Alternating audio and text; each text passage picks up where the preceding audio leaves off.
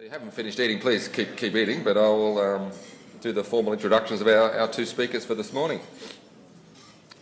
So they're actually doing a double act, so they're going to have two people to, uh, to focus on up the front here, but Alex Leese from Cox. Alex is an associate with Cox Architecture with 15 years experience working in Australia and the UK. He's worked in many major sectors of the building industry, from residential, health, retail, civil, sports, stadia, delivering high, high quality complex projects. In recent years, Alex has been involved in the design delivery of a number of uh, complex projects, including the National Maritime Museum of China. If you've seen that, it's an amazing looking building. The Anna Meares Velodrome we're about to hear about, and currently working on the North Queensland Stadium in, in Townsville. Alex has a strong interest and, and experience in developing um, parametric design systems that can, be, can provide great design flexibility whilst achieving high efficiencies. Our second speaker is Alistair Hall from Arups. Alistair is an associate with Arups with over 13 years' experience as a structural engineer in the UK and Australia. He studied civil and architectural engineering at Bath University in the UK, and he developed an, and there he developed an interesting interest in lightweight structures, undertaking his thesis on geodesic timber grid shells, which sounds fascinating. He, he began his structural career in London, working with Adam Kara Taylor before relocating, relocating to Australia in 2006. He's worked with Arups over the last 10 years in Sydney, Brisbane, and for a period established their Townsville office. Since moving to Brisbane, Alex has been fortunate to manage and lead the structural design of key Queensland projects, including the Cairns Performing Arts Centre, the Gold Coast Cultural Precinct, and the State Velodrome, obviously. Please welcome Alistair and Alex to the stage. It's a bit small for two.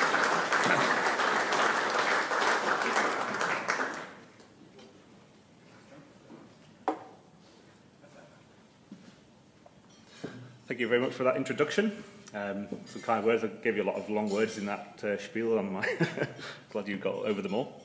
Uh, so thanks for the inv invitation to talk about the Anna Meares Velodrome. Uh, and I think it probably does get the record for the shortest building in the tall building uh, breakfast seminar. Which is, we're very proud of that record. it's still beautifully formed, as we know. Um, we're obviously uh, the architect and the engineer, uh, but we just like to acknowledge that there's an awful lot of people and time uh, that goes into making projects like this. Um, and we are going to acknowledge those people, but um, for now I'd like to also acknowledge people like me.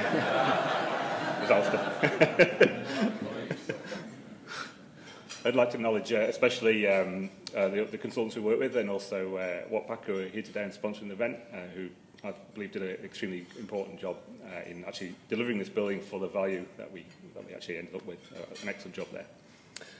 Um, so we're going to talk to, uh, to you about how the project was developed, uh, loosely um, uh, kind of through the kind of construction or design process, I guess.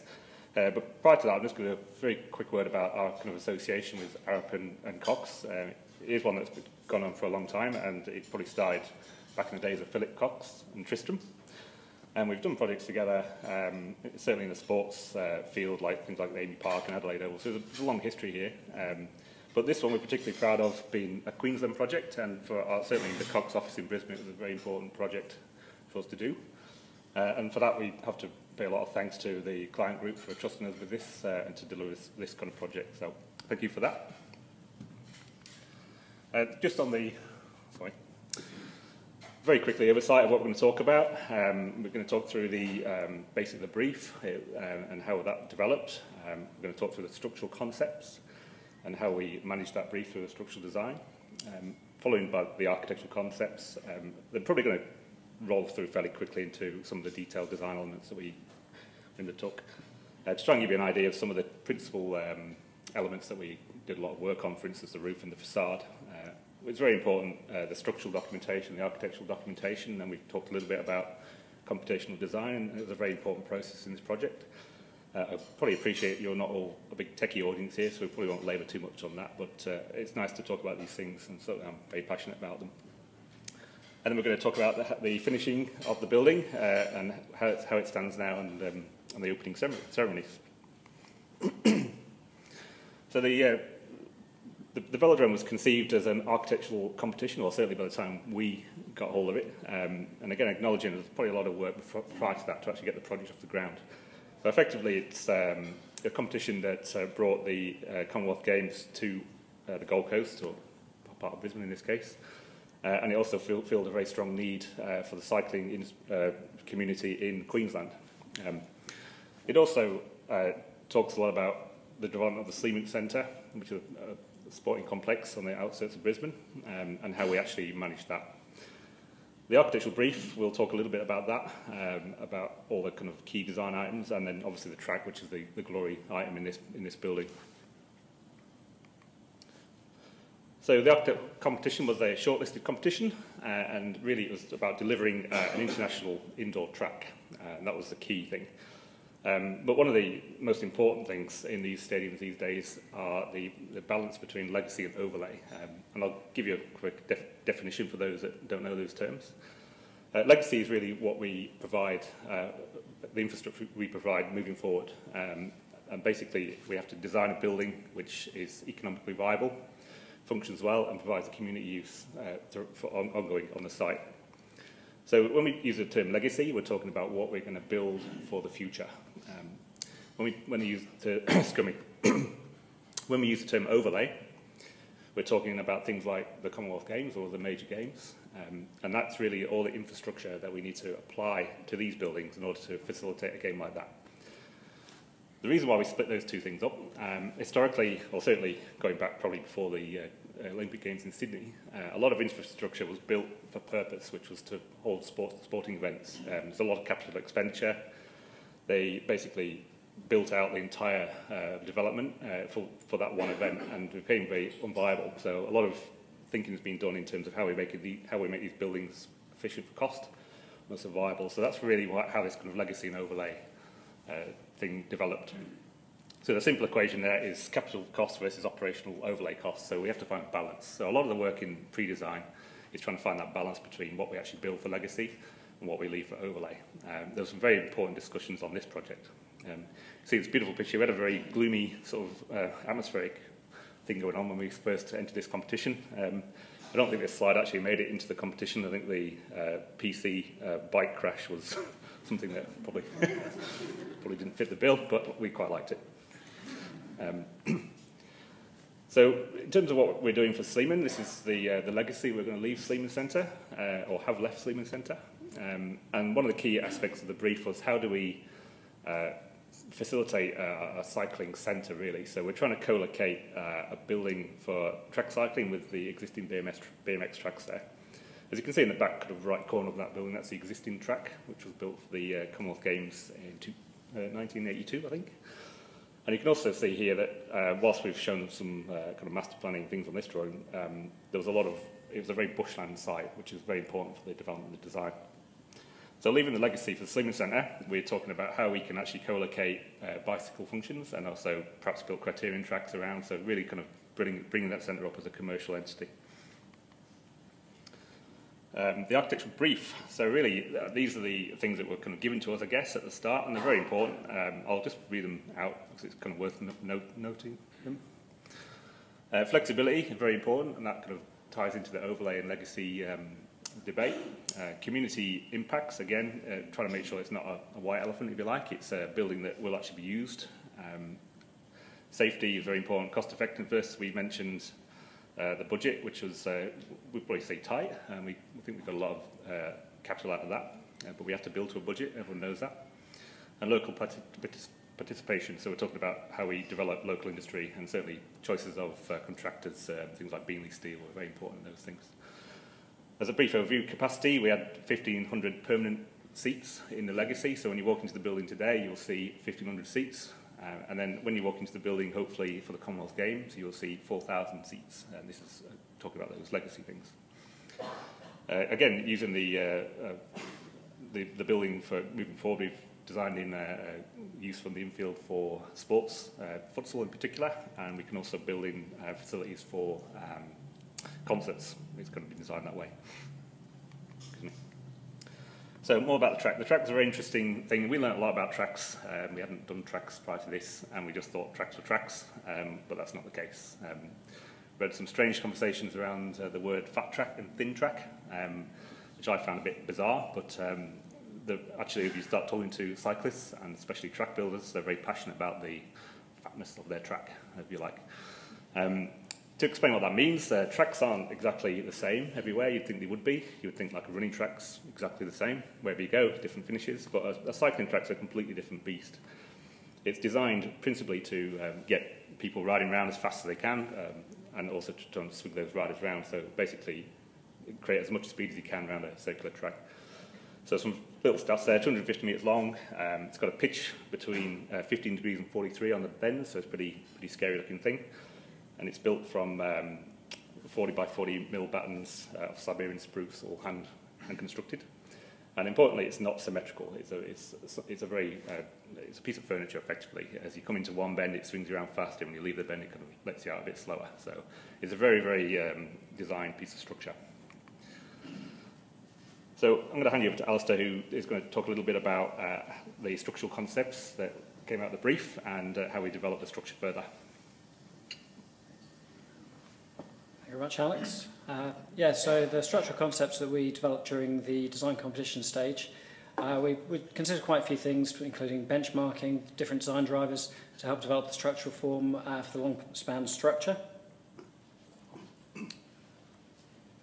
Uh, so first looking at the, the benchmarking of recent velodromes around the world, uh, there's different ones for Commonwealth Games and uh, Olympic venues. And you can see from the, the bar chart that we've got here the, the budget that we had for the uh, Queensland State Velodrome was one of the lowest budgets of recent velodromes, uh, and it had one of the lower permanent capacities. However, we did have that overlay capacity to be able to bump up the seats to 4,000 in overlay mode for major events. Uh, the other thing of interest looking at the uh, other venues around the world at the moment was to look at the different structural systems that were employed for each of them. So the top right, you've got uh, the London Olympic Velodrome, which was a cable net structure showing a uh, very big truss ring beam around the perimeter. Uh, second left from the top is uh, the Dunc Gray Velodrome in Sydney, which was a grid shell structure. And then bottom on the left is uh, from the Glasgow Commonwealth Games, which is basically uh, a big box with uh, big planar trusses. So the key design drivers uh, during the concept design for the structure where that uh, we needed to design for functional flexibility.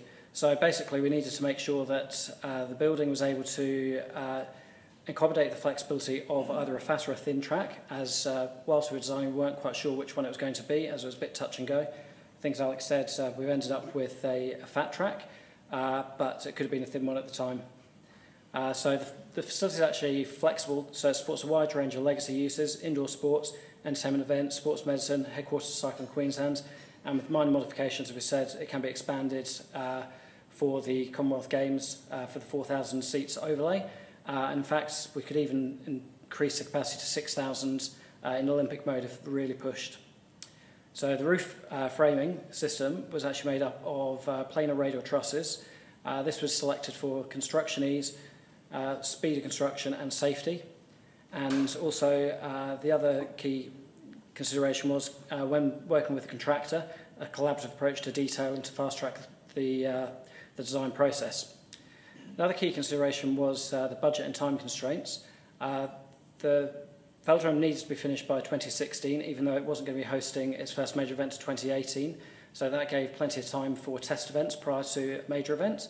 Uh, also, one of the considerations with uh, time was when the track installer was available to come and actually lay the track. So we needed to actually complete the velodrome, make it weather tight before they can come and install the timber track, which needs to be kept at a constant humidity while it was being installed. Uh, so it actually gets installed in the wet season while it's humid so that when it dries out, uh, it shrinks away rather than popping the, the timbers. So the structural form. Uh, so we started off with a hyper hyperbolic paraboloid shaped roof or a Pringle chip uh, because this basically gave the minimum surface area for the roof and for the walls uh, and actually allowed us to, to rake the seating up into the high points so you still got uh, sight lines down onto the centre of the track and could actually see across to the other side of the track. Uh, we've taken that uh, surface and used uh, parametric uh, form studies using Grasshopper and Geometry Gym to, to explore different uh, structural forms. So that allowed us uh, during the competition stage to quickly look at, so I think it was 12 different options we looked at, which considered cable nets, radial trusses, two-way grillages, two-way trusses, uh, grid shells, you name it. We, we can have looked at them all, but uh, using the parametrics, we were able to do that very, very quickly and uh, interrogate uh, steel tonnages, ease of construction, uh, to work out what was going to be the most suitable solution for the competition. Uh, most of the solutions we came up with weighed between about 40 and 70 kilos per square metre. And we finally settled on uh, the radial truss solution. Uh, basically, radial truss, radial planar truss is connected by a central ring beam, uh, supported by a series of 20 perimeter columns, and that ended up being about 50 kilos per square metre. Uh, it wasn't the lightest solution, but it was going to be the easiest solution and cheapest solution to fabricate. Uh, so some of the dimensions that we've got there Uh, the longest clear span in the north-south direction is 118 metres, 115 metres in the east-west direction, and it's 12 metres clear from the infield to the underside of the truss, uh, which uh, at its deepest point is 8 metres deep. And as you can see from the top right image, uh, it's actually large enough to house an A380. So Alex is now going to talk about the architectural concepts. Yeah, the A380 was pretty good. The only thing that stuck out the building was its tail, so I don't know we're going to park it there, but it was pretty pretty interesting how it actually actually fit just over the track perfectly with all its engines. It was quite an incredible design, really. anyway, so the architectural concepts um, really um, talking about how we conceived this thing. Um, so connection to the landscape was a was a big thing, um, which I'll talk about later. Um, operational orientation, so how we actually manage the, the building through the different uses, legacy and overlay. Uh, the stadium bowl we'll be talking about, um, really the architecture of the bowl and um, how we conceive those spaces, and then obviously the expression of structure, which is very important to us as architects. Um, so connection to the landscape. Um, this, this building itself was uh, basically built into, a, into the topography. We had to dig out a huge amount of dirt to get a, what is effectively a very flat uh, plate building, a very large flat plate building, onto a very slopy site. So what that meant was we had to do a lot of excavation and it kind of lent itself to a design aesthetic where we were actually trying to slot this building into the landscape. Um, so it became a very important part of the architecture, how we, how we kind of conceived that and how we represented that in the, in the final design. And you can see this is, this has jumped on a little bit. This is actually a final image, but you can see from this, it's a very good image to, to, to show on the left there how, how the kind of berming worked. So we've got a lot of landscape treatment that came up around the building uh, and also continued a very heavy base around, which is all made out of blockwork or concrete then defined by a nice black kind of line on, on the balustrade. Then above that, we've got this um, this kind of structure that sits over it, which is very different to it. So it was very trying, trying to isolate the two uh, aesthetics and make a very strong statement about that.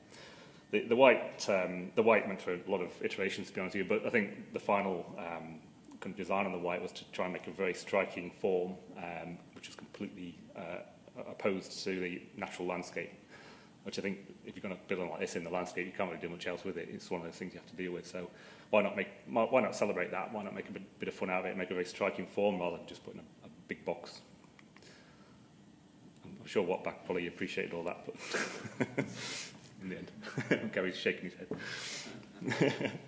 so the functional operation, we talked a little bit about um, how this building works in terms of an overlay and a legacy. Uh, and this is very important. But it actually allowed us, the, the slope of the site allowed us to do two things with this building, how we enter it. The, the plan on the left uh, is uh, what we call the concourse plan. And the plan on the right is what we call the ground floor plan. So starting with the plan on the right, um, you can see in the bottom right-hand corner, uh, there's, I probably won't point to it, I can't see it, but there's a small little projection out the building. That was the entry for the legacy use. So we, we kind of designed that as to be the everyday entry, uh, which is a very functional thing. As a cyclist or a football player uh, or, or going to the gym even, this is where you enter the building. Um, it's expected of a very low use, really, in, in its legacy. Um, not many riders on, on the track at any given time and probably about three football teams. So it's a very kind of low use relatively for the building size. Um, so we've got this entry down here which we can manage our, our legacy with and we could reception things like that, and we get easy access to the changing rooms, and we can have a very functional kind of flow of, of, of space. On the left-hand side is the concourse level, and we're taking advantage here of the, uh, of the fill and the way the, the site works, and on the very left-hand side of that plan is our event entry. So we've got two completely different entries. So one, if you come into a large event, you come in uh, on the concourse level from the left, and if you come in as a, an athlete or a small event, you come in from the, from the bottom right that allows us to split the flows very easily. So when we, have, when we are running a large event, or, or the operators are running a large event, there's a lot of options to actually split riders and public uh, and all the accredita accreditation issues that we need to deal with. So I think in terms of planning, it was a very successful way of doing that. Uh, the Stadium Bowl, um, we, we talked a little bit about that, this kind of uh, white thing in the landscape. Um, it's a very dynamic form, uh, deliberately so. We, we wanted this to be the kind of glory shot, if you like. Um, Alistair mentioned a little bit about the parabolic forms, um, which uh, really kind of form the whole, whole aesthetic of the whole thing. Um, but what we're trying to do with these, uh, there's a lot of uh, reason for this. It wasn't just a bit of architectural fancy. Um, to try and put height in the, uh, the sides of the track where we need the most seats. It gives you a bigger roof height, height through there, but also brings the roof down where you don't need the seats. Uh, it allows natural ventilation. The whole building was conceived without air conditioning. So the form of the roof gives a very natural stratification of air, which will come up to the underside of the roof and find its way out the eaves. It also, also uh, benefit really in smoke extract. It wasn't really how we planned it, but one of those little nice little things that happen. So the form is very important. It's a very functional form, but it's also a very striking form. Um, expression structure, uh, uh, Cox is a very strong exponent of expression structure, and this particular building really warranted that. Uh, so all the way through the design, we talked about with, with Arup, uh, how we're going to achieve these radial structures and how we're going to express them in the building. Uh, this this uh, shows part through the construction where we've got the actual main framing up uh, and part of the wall mullions. And it gives a very good idea of how that shape is formed by structure and how it's expressed.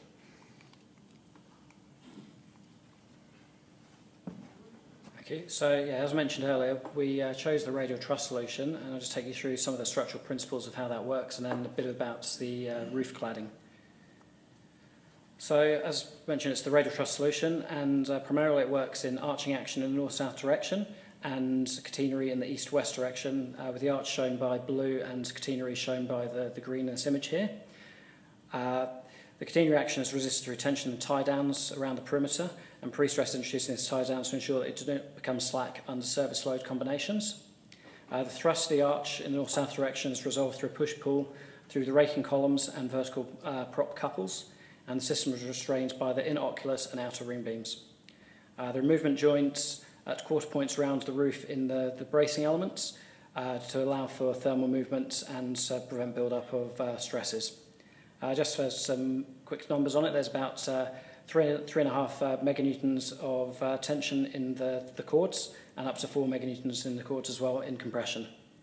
Uh, we, we took this uh, design, actually we optimized it using our parametric design skills and uh, our in-house software, uh, basically looking at different uh, options for it, you know, straight, curved, faceted truss members, looking at deepening the truss uh, at the column truss interfaces, looking at all the bottom chords being cables, bottom chords being CHSs, uh, multiple studies that we did uh, to come up with the optimum structural solution. One of the key drivers that we had uh, was to make it a construction-led approach and to try and make it a buildable solution. Uh, so we worked in collaboration with uh, the contractor, the, uh, the steel fabricator, the shop detailer and the temporary works engineer from very early on in the design stage to come up with a system of, if you call it, a kit of parts so that uh, the, the whole system could be fabricated off-site brought to site in as big a pieces as possible and then assembled in the quickest time possible. Uh, as I said, you know, the Radio Truss solution is a planar truss, so it makes it fairly simple to fabricate. Uh, as you can see from the images on the screen here, uh, it was fairly logical sort of assembly of, uh, of parts.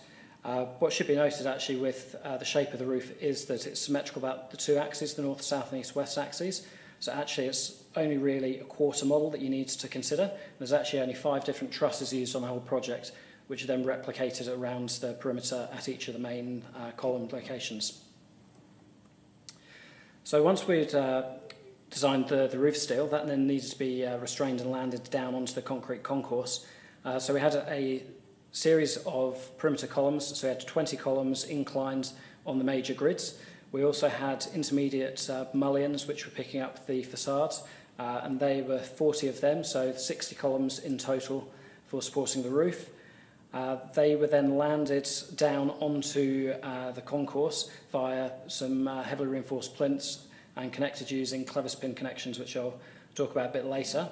Uh, the lateral forces from those columns are then resisted by a series of concrete shear walls on each of the major grids and stability loads taken through diaphragm action of the concourse slab to share the loads between each of those, which are then taken down into the pile caps and piles.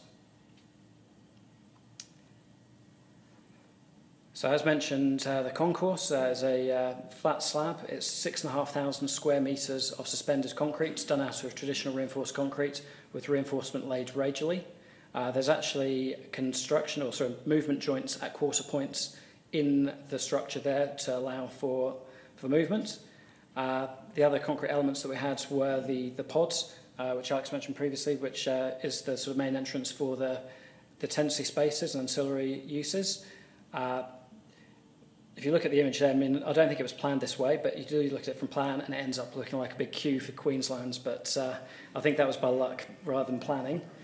Uh, and yeah, just the, the other one I've got up there is uh, the seating plats.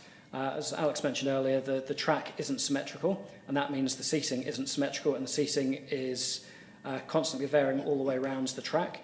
Uh, that was a bit of a bit of a secret that the track designer was keeping up his sleeve because he uh, owns the IP to that, and it's all parametric driven, and he wouldn't let us have that information until very late on. Uh, but because of the random sort of nature of it, meant that uh, didn't really lend itself to prefabrication and precast. So all those seating tiers were all cast in situ. So moving on to the cladding. Uh, so the, the geometry of the roof was developed to suit metal deck cladding where flat grades and large radius curves are readily achievable. Uh, the cladding system revised to a fabric system during the detailed design to suit clients and contractor preference. However, this did bring about some engineering challenges which we had to work through with the design team.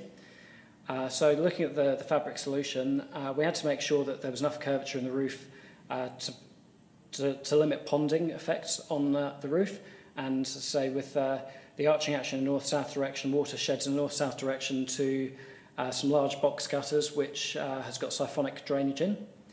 Other considerations were that we were looking to use fabric with a, enough opacity to reduce the energy consumption uh, of lights during the day. Uh, so we did some daylight studies on that. Uh, but probably the, the most important one with the fabric and actually for the design of the structure was the wind engineering which we had to undertake. So uh, being a structure that's over 100 metres long, uh, we can't use a codified approach to uh, looking at the wind loads. And so we actually did some wind tunnel testing, which brought up some surprisingly higher loads than we expected. You can probably just about see on the, the wind tunnel testing model there on the right-hand side, there's a bit of a slope there, which actually faces the BMX track, which is uh, the berm, or landscape berm. And that actually accelerated the wind loads up that berm and actually uh, created some, some larger than expected uh, gusts of, I think it was about five and a half kPa that we ended up looking at in that situation. Uh, so looking at the wind loads, uh, what we actually had to, the higher than expected local wind uplift pressures that we ended up getting resulted in large in-plane forces that combined with out of balance in-plane fabric forces, which are as high as 50 kilonewtons a metre in some scenarios, ended up uh, with the PTFE fabric working fairly close to its limit. Uh, just so that we uh, didn't end up with any structural failure, we worked with uh, the fabric consultants to develop connections of the fabric to the, to the primary structure so that they would form plastic hinges in the event of some fabric failure so that if you did get fabric failure, you didn't pull the primary structure down and you could then come back and just replace a single panel of fabric. So that kind of leads into the fabric walls that Alex will talk about. Just before going to the facade, I think it's a really important point to just draw out again that the, the, the building wasn't designed originally as a fabric roof, it was designed as a metal roof. Uh, it was a contractor-led decision, which everyone supported to go to fabric, and obviously a lot of commercial work in that. But the real benefit of that really was the natural daylight. Um, it obviously helps uh, riders ride throughout the day in, in training mode and also competition mode. and probably most of the time in, uh, uh, for, for cameras as well. Um, it was a real benefit to the project, and I think it's a real benefit going forward for the legacy. Uh, and I think also it looks beautiful, which is what I'm obviously very passionate about as well. Uh, so I think that was a really good move that we got uh, in that. The uh, architecture of the facade, so really um, this is obviously quite a key architectural element on this building. Um, and we we've got a few kind of uh, things that are important on this. One is the materials. Uh, secondly, the fabric form finding in the facade and the eaves design. And then I'm going to talk a little bit about the computational, computational design process that we use to uh, try and find those forms. So when the building started off in its uh, early stages, um, we had a, damp-on facade, um, originally just trying to reduce cost and try and keep it as minimal as we can. Um, we probably found that the, the form itself uh, didn't really lend itself very well to that kind of uh, system, given the geometries that were implied in, the, in those uh, shapes. So it kind of developed into an aluminium system for a while. These projects do a lot of this kind of thing, whether we could sheave the aluminium, whether we could like lay it as like a shingle almost um, to try and keep a standardized form. We did a lot of work on trying to find a, a very simple standardized system that would actually lend itself to this geometry. Um, as it turns out, fabric was the answer. I think fabric was a very good answer in this particular case as well. Um, because obviously it does naturally allow form finding or form twisting depending on how you apply it to a structure. So those two images kind of show the development of that uh, and how it, how it all worked. Um, and, and here's kind of how we kind of establish those forms, if you like, um, and again through a lot of computational design process to try and set a form uh, which was very reminiscent of a track, very sweeping form. And I would actually generate that into a piece of architecture uh, which is the top one. Uh, the, the kind of bottom ones are then trying to divide that into a series of um, bays, if you like, which can be removed, so the, the whole system, fabric system can be taken off. Uh, as Alistair mentioned very early on, there's an option to expand this building out to a, a larger capacity by taking the fabric facade off, so we had to think about that, how that would work. Then the final one is really uh, a, a way of, uh, an architectural way, if you like, of trying to press some form into this structure to try and make a dynamic shape but also to try and keep it uh, relatively simple, so it's single stick lines, but they are twisted.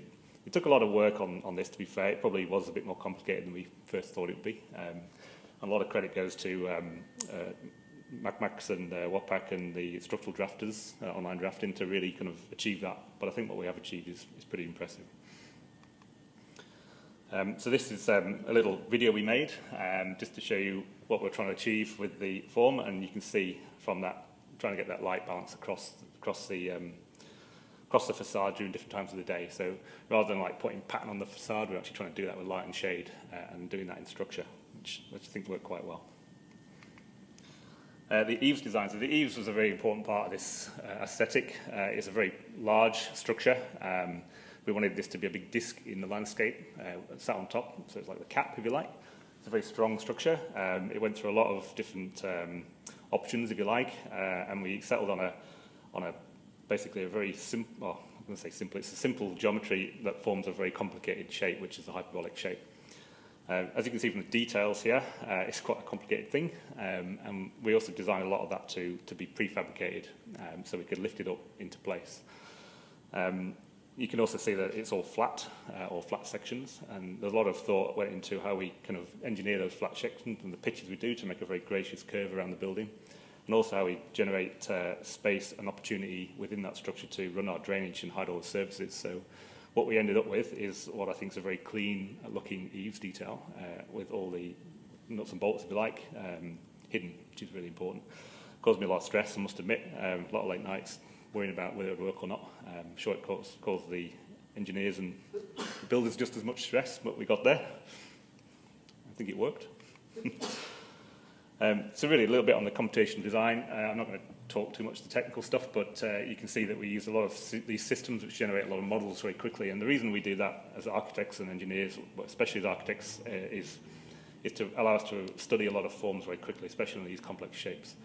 Uh, it allows us to uh, look, look, at a lot of different options. So when we are looking at different ways of putting a facade together or different ways of uh, treating steel or even different sizes of building, we can do it very quickly uh, as long as we set up all the parameters properly. Uh, and the advantage of that is we can test uh, ideas that are given to us, either driven by cost or driven by design, and we can test them very quickly. We can test them for areas, we can test them for rates, we can test them for visual impression that we've got. So as an architect, I'm, I'm very passionate about that, and I'll probably talk about that for about five hours, um, but I won't today, thankfully. Um, but it's an extremely important process to develop these kind of buildings. Uh, again here, so this is quite, uh, I've just picked out one little uh, scenario. We did lots of studies here, but this is one in particular where we took the uh, design wireframe, uh, which we generated, um, which led straight into the structural programs, which also led straight into the drafting programs for the detailer. But in this particular one, we wrote a code that uh, actually uh, applied the, the precamber into the, into the wireframe, um, which I must admit took about an hour to do, and it was great because every time we flexed that whole design or changed something, we got the, uh, the design state and the pre-cambered state immediately out of the process. So we could always work with the two systems very easily, and we didn't have to get confused or didn't miss one in one and not put it in the other. It was a very kind of good process, and it allowed us to give the shop drawer uh, the pre-cambered model, and then us keep the kind of final state model in there.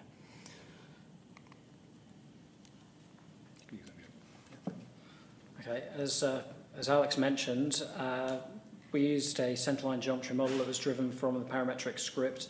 Uh, we were able to basically take that straight into our analysis package and push that from there straight into documentation uh, and round trip that every time we had updates. So we actually uh, just had a single model uh, rather than having to do an analysis model and a documentation model. Uh, so that process was very quick and efficient and as I say we were able to, to test different things very quickly and document them very quickly based on that. Uh, that then also leads into uh, the, the steel detailing. Uh, so we had weekly uh, steel detailer meetings with the contractor, steel fabricator and shop detailer uh, to fast track the process and to design things that were uh, easy to fabricate, quick to fabricate and going to be economic while still maintaining an aesthetic. That, that process worked very well. You know, we didn't need to have a formal RFI process and we answered the issues on the spots, and I think it uh, out a lot of the problems with all the design team in the same room at the same time. So moving on to the steel fabrication and erection. Uh, as I said, we worked collaboratively with uh, the steel fabricator, temporary works engineer, uh, and the, the contractor to to work out uh, what the, the erection sequence for the, the project was going to be, what the construction details were going to be, and uh, how big we're going to make the elements for fabrication, transport and assembly. So looking at the, the erection sequence, uh, during the competition phase we actually proposed uh, a sequence for the erection of the, the velodrome. However, there was a temporary works engineer engaged by Watpac uh, Construct, and uh, Rob Batiste came up with, uh, with a erection methodology which is pretty similar to, to what we proposed originally, which limited the locked-in stresses. So we started off with uh, nine tower crane bases in the centre to erect the major north-south components of the Oculus, followed by completing the Oculus, then using uh, mobile uh, tower crane bases to, to extend those north-south and east-west trusses, stand the columns and complete those trusses. Uh, then the bolted bracing uh, in the roof plane was then put in place to stabilise uh, that system and then all the remaining infill radial trusses were put in place and then completed with uh, the ring beam and uh, W bracing around the perimeter. So in all there was a total of 12 tower crane bases used, three, three mobile and nine fixed. And uh, through this system uh, we minimised uh, locked-in stresses. So as mentioned, uh, the connection design was also driven through the construction-led process with the contractor and the steelwork subcontractor. We had large trusses which uh, were spanning, you know, up to 50 metres, and obviously they wouldn't be transportable, so we needed to come up with splice details which would allow them to transport them in manageable sections. Uh, so it was a contractor preference to use a cradle connection rather than a site butt weld to do the full moment uh, connections. Uh, that principle was that you know you had one one half of the cradle, you could lay the other half of the truss in it, and then do site fillet welds to to gain enough length of welds to, to replicate the, the full strength butt welds. And that system worked very well. Uh, looking at the connection on the right hand side, that's actually uh, one of the cleverest pin connections at the knuckles at the top of the column, where we had incline columns meeting with uh, the compression struts or the, the, the props to support the ring beam. Uh, in some instances, we had pins of up to 165 millimeters diameter and plate thicknesses of up to 120 mm thickness, uh, just so that we could uh, you know, uh, maintain an aesthetic appearance on some of those and to hide stiffeners beneath the eaves details because we didn't want uh, bits of plate hanging out in those locations. So again, going to the, to the fabrication and uh, looking at the, the size of the pieces that could be fabricated, uh, the maximum size that we had was a 21 metre long by 8 metre wide truss section. Uh, and it was actually so big that the fabrication yards needed to shift the gate posts to actually get them out the yard. Uh, so there was actually over 200 vehicle movements to sites with uh, the fabricated pieces, and 40 of those were with police escorts. And actually, uh, with the larger pieces, uh, the, the flatbeds were followed by a mobile crane, just in case uh, they needed to pick the truss up as it went around corners, in case it had fallen off. So looking at the assembly on site, it all went pretty much to plan in terms of what, we'd, what the temporary works engineer had devised in terms of the erection methodology. Uh, the primary steelwork took about four months to erect in total, uh, and there were four mobile cranes used for erection range between 20 tonnes and 200 tonnes. So uh, D-Day or depropping day, as I like to call it, Uh, this is always a bit of a nervous time, especially for a long span structure, but it's a bit of an anticlimax because on something that's measuring 118 metres, you know, the, the deflection that you get once you deprop is pretty minimal. You, you can't see a thing happening. It took uh, four hours for them to simultaneously uh, release the bottle jacks uh, to, to deprop the structure. And uh, we actually had uh, a bit of a wager within the design team about uh, how much it was going to deflect under self-weight. And I think Alex was correct there or nearest by one millimetre, it's actually deflected 176 millimetres, and our analysis had it at 180 millimetres, so it's pretty spot on. I did actually want to get a slide in here from the surveyors who actually took some drone shots and uh, surveyed the whole thing uh, from the sky and just overlay that with uh, the model, but didn't quite happen in time. Uh, I think as Alex mentioned earlier, there was a pre-camber of 200 mil, uh, which was built into the design. So what we did is we actually designed, put the pre-camber in to take out the self-weight deflections. So we were basically a little bit up. We're 20, 24 mil higher than uh, what we'd originally designed it as, but as soon as you put some of the superimposed loads on, that was fine. So here's just a quick video of uh, the erection sequence. I might cut this short, uh, but it's quite good to see the first part of it. Um, gives you a really good sense of how the building went together. Um, so I'll, I'll just kind of let you watch it for a minute and I'll move it on. That's not worked.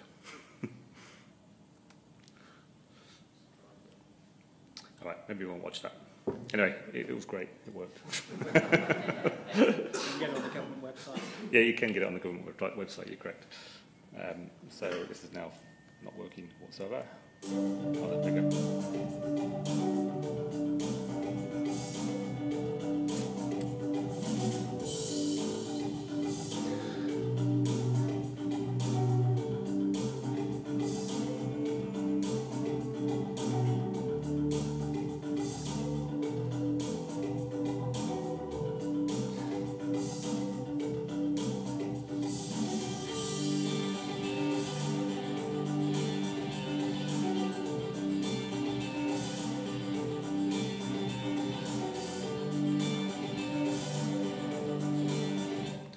Just move on there, but if you want to watch the rest of that, it goes on for about another two minutes, and you can get it on the, on the government website. It is actually really worth watching, but we're a little bit behind time already, so I'm going to keep going.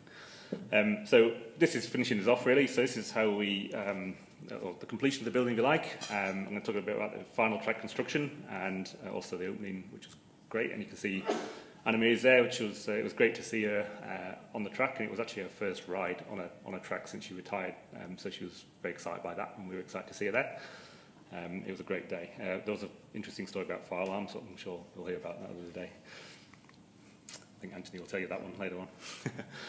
the track construction, very quickly. Um, so as we talked about before, it's a very bespoke piece of furniture. Uh, it's all prefabricated, uh, all the trusses are prefabricated to all the angles and the grades. Uh, they're installed by a lot of Germans that come over um, and hammer things together with hammers. Um, I'm not going to make any um, discussion of what they wear when they're doing that, but um, you can probably imagine um, in trouble for those kind of things. But it's a beautiful sight, seeing 20 guys smashing bits of timber together, and because of the reverberance in the stadium at the time, it was very kind of Disney-like. There was a lot of people with hammers and noises going on. Like a, it was a beautiful thing. The track itself is very beautiful. Um, we have shown, uh, if you ever go to the velodrome and you go into the main entry, you'll be able to see the track structure through one of the little windows we provided. I think that's really worth it because a lot of this beautiful structure and craftsmanship is otherwise hidden. So I'll move on quickly. So, so just some final images. Um, of, I'll just flick through them to be honest you, but this is um, one of the, I think it was the junior championships, Queensland Junior Championships. You can see uh, in, in this particular image, you can see the daylight in the roof, which I think was really important for us. A very bright looking thing. The structure is really clear and expressed. It looks very clean. Um, a lot of velodromes I've been to have uh, solid roofs and purlins. They look very heavy and grey, so we were really pleased with how this came out. Um, a kind of uh, action shot going on there around the bends. Uh, this is how we kind of, well, it's a very early morning shot. Um, again, just sort of picking it all up. And finally, the, uh, going back to how we originally conceived it uh, with the co-location of the building and the uh, cycling events on the outside. So I think it's quite an expressive piece of architecture. So we're all very proud of it and um, hope you've enjoyed listening to us talk about it. Um, there's a few acknowledgements we'd like to make. I might let Alistair make those. Um, You won't? Okay, well, we'll keep going. Uh, we've put in for a few awards. We won the National uh, Engineering Award for steel, um, which is very exciting, and we've put in for a few other awards, so hopefully we'll go well with those. Um, but really, at the end of the day, it's about hearing the feedback from the cyclists and the people that use the building. I personally went to uh, the National Tra Championships a couple of weekends ago, and I was very excited to hear how Queensland Cycling uh, received the building. It really makes, makes my day worthwhile, that kind of thing. Uh, and that's us. So we've uh, tactically given you no time for questions. that's, that's, not true. We've got plenty of time for questions. Um, so if you'd like to ask anything uh, of either of us, um, go ahead. Um, and if not, we'll thank you for listening.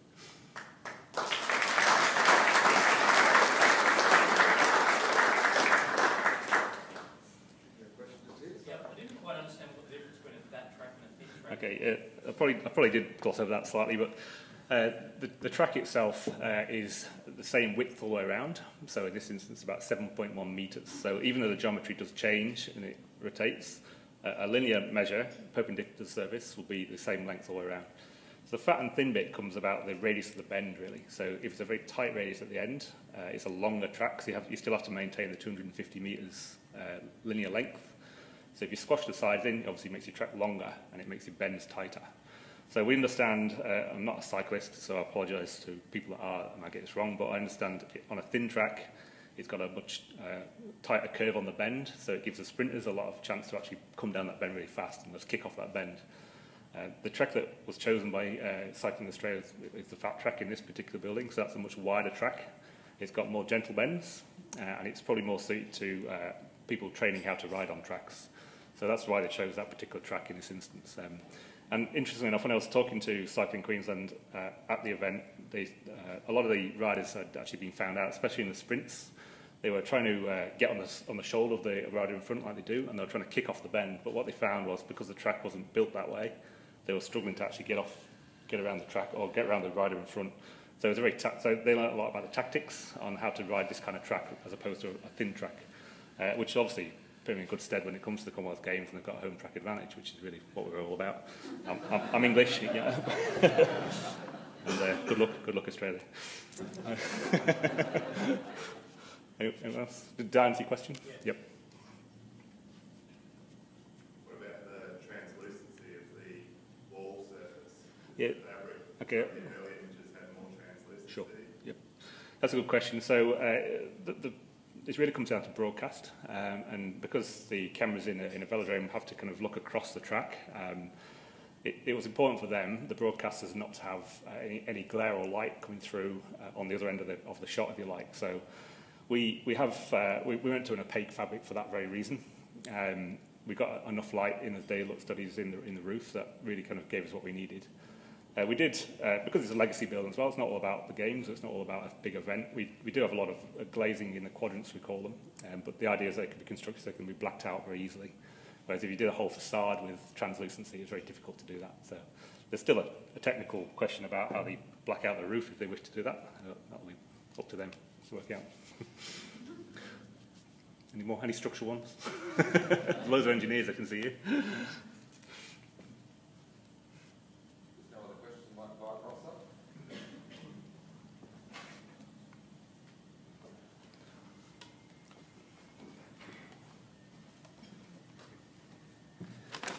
Thanks, John. Uh, Watpac are proud to be uh, sponsors of this morning's breakfast and equally proud to be involved in the Anna Meares Velodrome. Uh, this morning we heard presentations from both uh, Alex and uh, Alastair, and uh, they were an integral part in the success of that project, along with several of the other consultants who are here this morning. We lived and breathed that project for two and a bit years, our site team mostly here, and uh, I think there were a few heartaches and headaches throughout the job, but uh, we got through it at the end. And I learned a few things about that uh, project that uh, from this morning's presentation. Um, and by the way, uh, Anna Meares wasn't the first to ride on that. Uh, you, uh, I think it was one of our our guys, wasn't it? who, was, who was testing the timing equipment. Uh, uh, it mightn't be considered a uh, tall building, but it's certainly an iconic building. And it's one that uh, each of the guys involved and women involved in the uh, construction team and design team will probably say, we'll never do another one of those in our lifetime. So it's a truly wonderful facility, and if you haven't seen it already, you, I encourage you to get out there and have a look at it um, and hopefully witness some uh, uh, rare sporting achievements in the next 12 months. So on behalf of WATPAC, I'd just like to pass on a vote of thanks to uh, uh, Alex and also to Alistair for their uh, in informative presentation this morning. Thank you, guys.